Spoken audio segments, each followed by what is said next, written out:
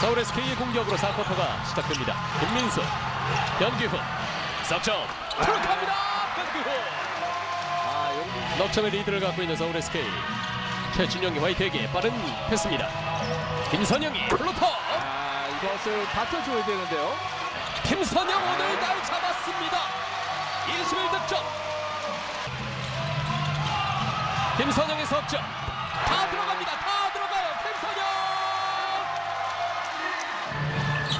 정성호가 맡고 있고 김선형 빠르게 빠져듭니다. 대단히 화려합니다. 그렇다. 득점이다 마치 슈퍼맨급 마력을 김선형이 보여주고 네, 있습니다. 오늘 어, 100%의 플레이를 김민호 선수가 보여주고 있어요. 추가 자유투마저 성공시키고 있는 김선형입니다. 네. 공격 시간 2초 남아 있습니다. 김민수가 석점을 들어가지 않습니다. 최준용 다시 잡아냈어요. 메이스. 야, 네 명의 오싸고 블락 최준영.